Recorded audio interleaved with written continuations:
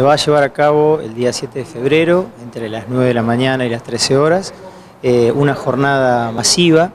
de sensibilización en la problemática de adicciones desde la perspectiva del sujeto.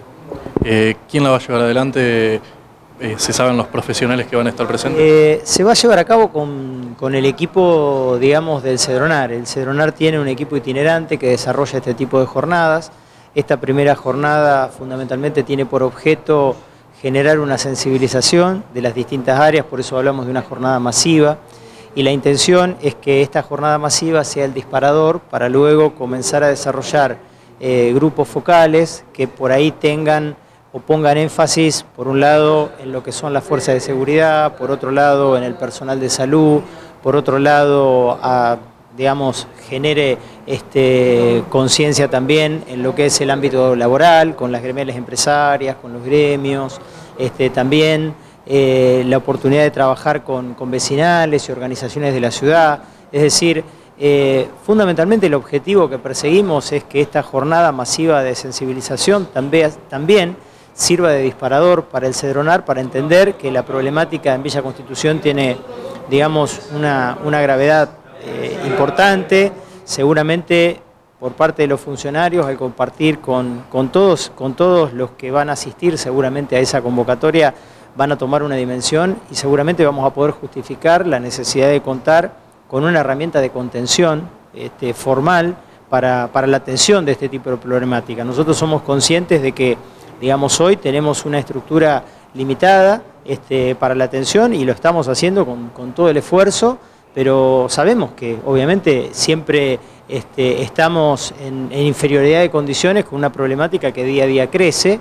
y creemos que es a través de la gestión que ya hemos realizado y que vamos a seguir este, desarrollando, la, vamos a encontrar seguramente la posibilidad de contar con, esta herramienta futuro. Así que aspiramos a que esta convocatoria sea realmente importante, masiva, y aprovechamos el medio también, además de hacerlo, digamos, con cada una de las, de las distintas áreas,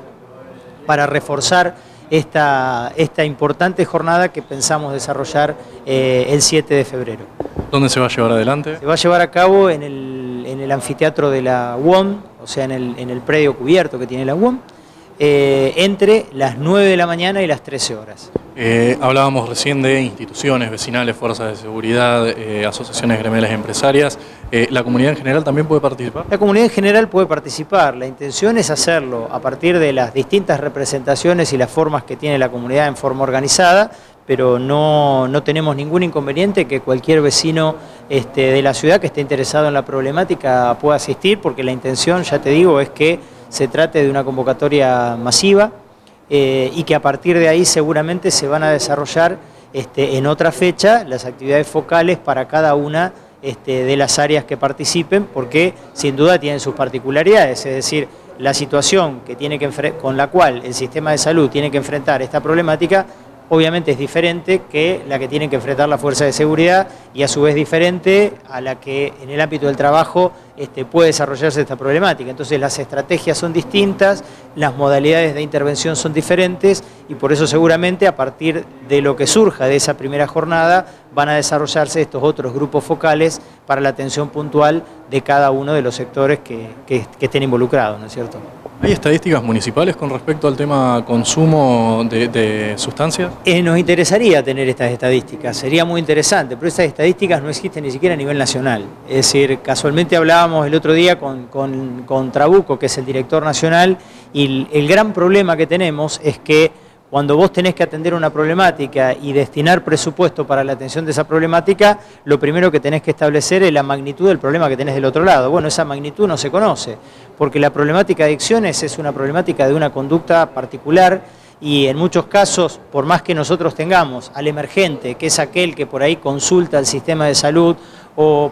probablemente sea eh, imputado en alguna causa en la cual este, pueda estar involucrado en el tema de la problemática del consumo, eh, esos son los emergentes, pero sin duda esa punta del iceberg tiene a su vez una base este, mucho más importante y que en realidad eh, nosotros creemos que en virtud de la cantidad de consultas y la cantidad de problemas vinculados a esto que surgen del análisis, digamos, de lo, de lo que viene del mundo del trabajo, de lo que viene de la fuerza de seguridad, de lo que viene de la problemática judicial, de lo que viene de las consultas que tenemos con respecto al tema niñez, con respecto a los menores en conflicto con la ley. O sea, en todos estos, en todos estos ámbitos la problemática de drogas está presente. Entonces, indudablemente estamos frente a un problema este, muy importante, muy grave, que no estamos atendiendo en forma adecuada, este, precisamente porque no tenemos dimensionada la magnitud pero sin duda en una jornada de sensibilización en donde todos los actores van a estar presentes, creo que va a ser el marco adecuado para poder empezar a pensar esto